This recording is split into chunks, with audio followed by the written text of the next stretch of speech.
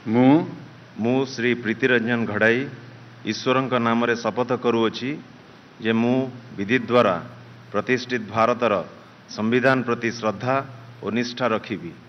ଭାରତର ସାର୍ବଭୌମତ୍ୱ ଅଖଣ୍ଡତା ରକ୍ଷା କରିବି।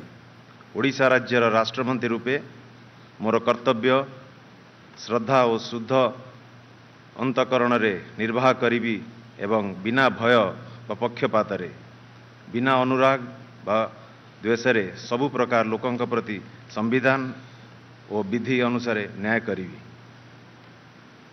ମୁଁ?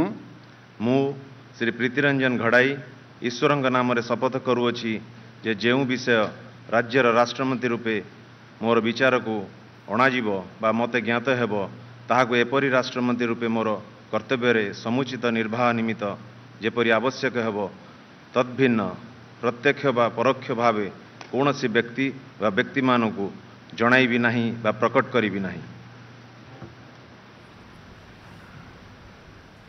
ପ୍ରୀତିରଞ୍ଜନ ଘଡ଼େଇ ରାଷ୍ଟ୍ରମନ୍ତ୍ରୀ ଭାବରେ ଶପଥ ନେଉଛନ୍ତି ତିନିଥରର ବିଧାୟକ।